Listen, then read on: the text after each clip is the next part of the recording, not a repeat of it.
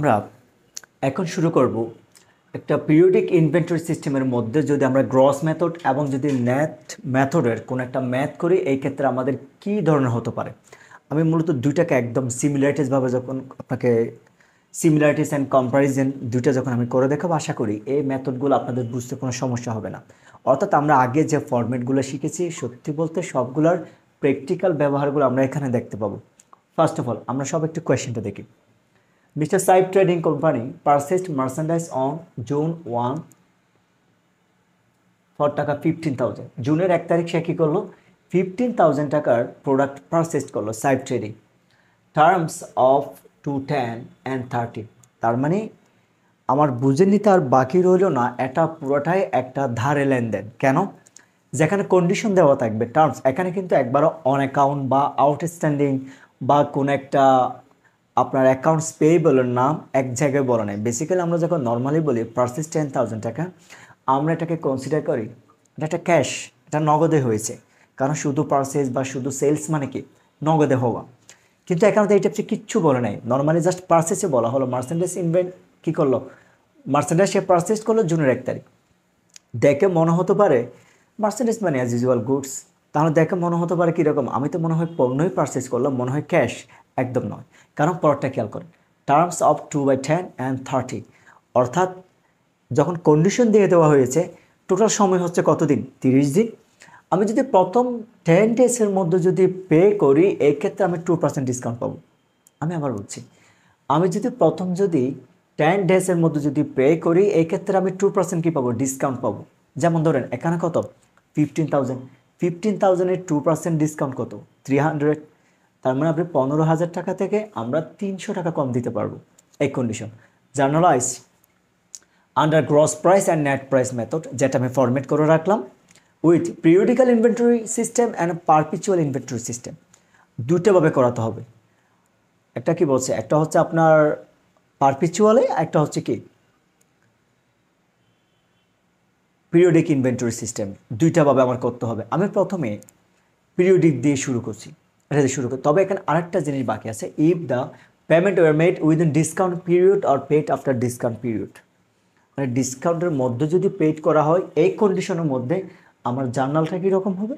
আর যদি ডিসকাউন্টের বাইরে বা ডিসকাউন্টের সময়ের মধ্যে সে যদি পেড না করে, তখন আমার এখানে জার্নালটা কী হবে? এটা আমার দেখাতে হবে।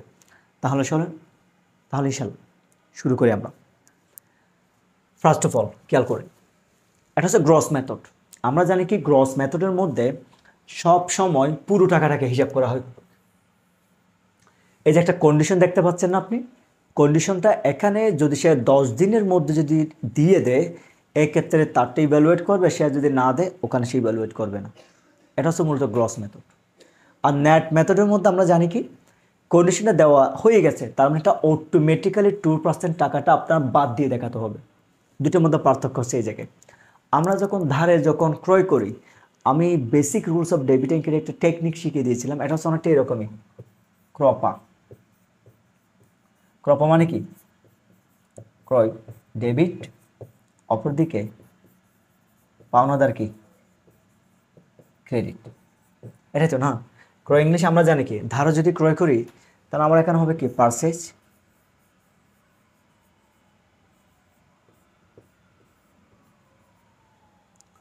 আমরা যদি ক্রয় করি, তাহলে আমার কি হয় যে ক্রয় অ্যাকাউন্ট ডেবিট ক্রয় অ্যাকাউন্ট হচ্ছে কি? পার্সেস অ্যাকাউন্ট ডেবিট অপরদিকে আমার পাওনাদার পেবল আমার অ্যাকাউন্টস পেবল অ্যাকাউন্ট কী হবে? কারণ একদিকে আমার খরচ বেড়ে গেছে, অপরদিকে আমার লাইবিলিটি বেড়ে গেছে। অ্যাকাউন্টস পেবল ক্রেডিট কত টাকা হবে? টাকাটা হবে গ্রস মেথডের মধ্যে পুরো টাকাটাই।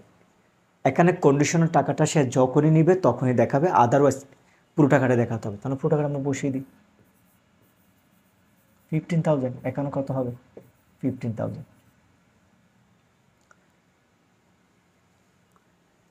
যদি আমরা লিখে দেওয়ার পর যদি দেখেন জানো এখানে আপনি চাইলে একটা কজ দিতে পারেন, যেমন টু রেকর্ড দ্য পার্সেস একটা কস্ট হিসেবে আপনারা লাস্টে ব্র্যাকেটে দিয়ে দেবেন। নিচে লিখে দেবেন কি টু রেকর্ড দ্য পার্সেস লিখে দিবেন। এবার ন্যাট মেথডের মধ্যে আমরা যখন সেম জার্নালসটা যখন করতে যাব, তখন শুধু আপনার পার্থক্য হবে টাকার ক্ষেত্রে।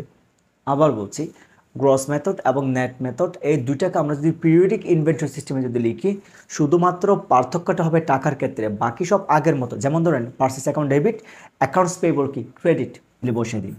যেমন ধরুন purchase account debit purchase debit accounts payable credit এখানে কস্ট আপনি দিতে পারেন to record the purchase to record the purchase এখন টাকার ক্ষেত্রে যদি আমরা বলি, তাহলে আমরা জানি কি নেট মেথডে সবসময় ডিসকাউন্টের টাকাটা কি করে? মাইনাস করে বসানো হয়। তাহলে এখানে দেখুন যে কন্ডিশনটা দেওয়া আছে টু বাই টেন তাহলে ফিফটিন থাউজেন্ডের উপর আমি যদি টু পার্সেন্ট যদি ডিসকাউন্ট হয়, তাহলে কত হচ্ছে? থ্রি হান্ড্রেড টাকা। এই টাকা, এই টাকাটা আমার মাইনাস করে দেখাতে হবে। এই টাকাটা আমার কী করতে হবে? মাইনাস করে দেখাতে হবে। ওকে তার মানে টু পার্সেন্ট ডিসকাউন্ট হয় কত? থ্রি হান্ড্রেড টাকা।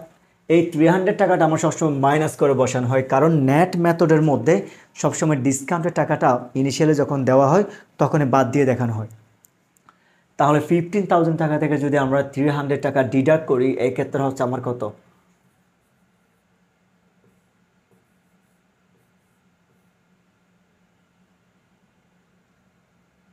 আমরা যদি নেট মেথড যদি হিসাব করি, তাহলে হচ্ছে কি দুটো ঠিক অ্যাজ ইউজুয়াল শুধু একটা জায়গায় পার্থক্য, আমি এখানে ডিসকাউন্টেড পিরিয়ডে যে একটা কন্ডিশন দেওয়াটা থাকে, ওই টাকাটাকে আমাদের এখানে সবসময় কী করতে হয়? বাদ দিয়ে দেখাতে হয়।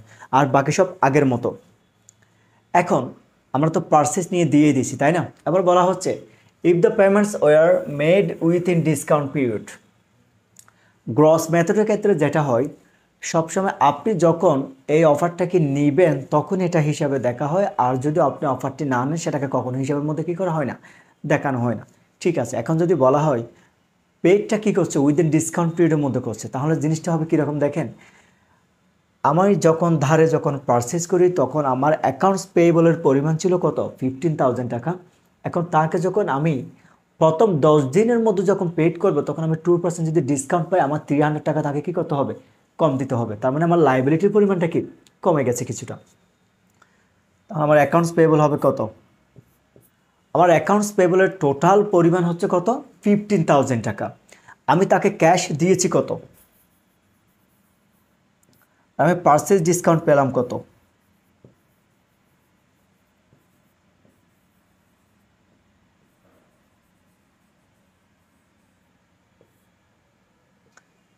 আমার টোটাল পাওনাদারের পরিমাণ হচ্ছে পনেরো হাজার টাকা। আমি প্রথম দশ দিনে পেড করার কারণে আমি একটা টু পার্সেন্ট ডিসকাউন্ট পেয়েছি, যেটা আমার জন্য ইনকাম আমার তিনশো টাকা তাকে কি দিতে হয়েছে?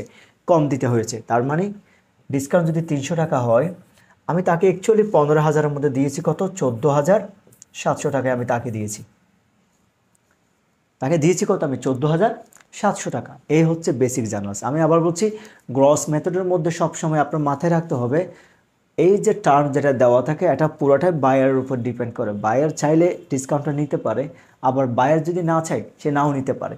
সে যখনই নিবে তখনই হিসাবভুক্ত করবে, আর সে যখন নিবে না, তখন তার এই টাকাটাকে কি করবে না, হিসাবের মধ্যে অ্যানলিস্টেড করবে না। এটা হচ্ছে মূলত গ্রস মেথডের ক্ষেত্রে। কিন্তু নেট মেথডের ক্ষেত্রে এই আবার একটা ডিসকাউন্ট হিসাব করার দরকার নেই। কারণ কেন? ওরা দেখেন, টাকা যখন বসিয়েছে কন্ডিশনটা দেওয়ার সাথে সাথে ওরা পুরো টাকাটাকে কী করে দেয়? ডিসকাউন্ট টাকাটাকে বাদ দিয়ে দেখিয়ে দেয়। তার মানে ওরা ধরে নেয় বায়ার্স বা পার্সেসর যিনি থাকবে, উনি এই ডিসকাউন্টটা অবশ্যই নেবে। ওকে যখন এবার আমরা পেড করব, তাহলে আমার অ্যাকাউন্টস পেয়েবল যেটা আমার ফোরটিন থাউজেন্ড সেভেন হান্ড্রেড টাকা ছিল এই লাইবিলিটির পরিমাণটা আমার কী হয়ে যাবে? কমে যাবে।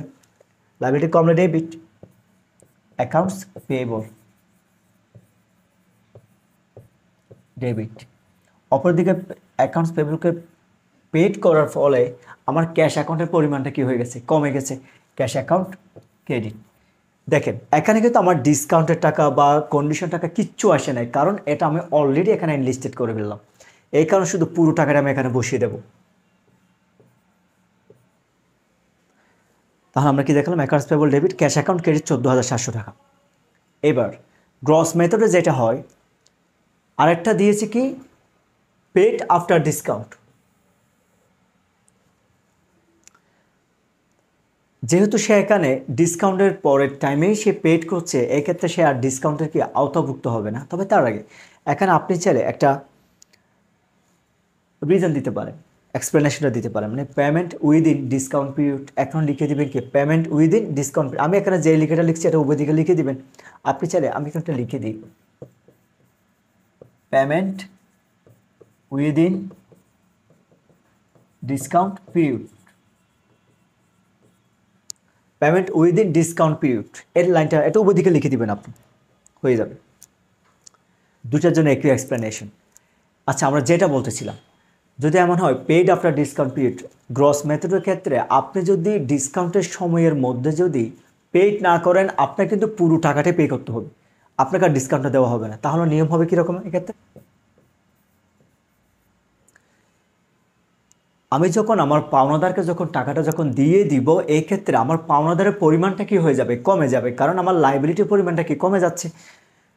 অ্যাকাউন্টস পেবল অ্যাকাউন্ট এই জন্য ডেবিট আমরা জানি লাইবিলিটি যদি কমে যায়, তাহলে কি হবে? ডেবিট অপরদিকে, তাকে দেওয়ার ফলে আমার ক্যাশ অ্যাকাউন্ট কি হয়ে যাচ্ছে? কমে যাচ্ছে। আর ক্যাশ অ্যাকাউন্ট ক্রেডিট ক্রেডিট ঠিক সেম টাকা। এই ক্ষেত্রে সে পুরো পনেরো হাজার টাকাটাই দিতে বাধ্য। কারণ এখানে সাইফ ট্রেডিং যেটা, যেই কোম্পানিটা আছে, সে কিন্তু মূলত এই টার্মস বা কন্ডিশনের মধ্যে সে টাকাটি দেয় নাই। এই জন্য তার পুরো টাকাটা তার থেকে কী করতে হবে? পে করতে হবে। এটা হচ্ছে ব্যাপার। এখন, এই ক্ষেত্রে ন্যাট ন্যাট ম্যাথডে যখন আমরা যাব, তখন এই জিনিসটা একটু অন্যরকম। কেমনে বলি আপনাকে? যেমন হ্যাঁ আমরা জানি আমি যখন পাওনাদারকে যখন পেড করব, আমার লাইবিলিটির পরিমাণ কি? কমে যাচ্ছে। অ্যাকাউন্টস পেবল আমি ডেবিট দেব। অ্যাকাউন্টস পেবলকে আমি কী করলাম এখানে? ডেবিট করলাম। কত টাকা হবে? আমার অ্যাকাউন্টস পেবলের পরিমাণ কত? চোদ্দ হাজার সাতশো। আমি এটাকে এখানে লিখব চোদ্দ হাজার সাতশো। চোদ্দ হাজার সাতশো আমি লিখে দিলাম। কিন্তু সে তো এখন আমি তাকে যে অফারটা দেওয়ার সাথে সাথে তো আমি তাকে অফারের মধ্যে রেখে দিলাম। যার জন্য আমি তার থেকে তিনশো টাকা আরও কিনিলাম। কম দেখালাম আমার হিসাবের মধ্যে। এখন সে তার অফারটা নেয় নাই। যেহেতু নেয় না, এটা একটা লস এই জন্য এটাকে বলা হয় পারচেস ডিসকাউন্ট লস্ট অথবা ডিসকাউন্ট লস্ট দিলেও হবে, যেটা ফ্লেক্সিবল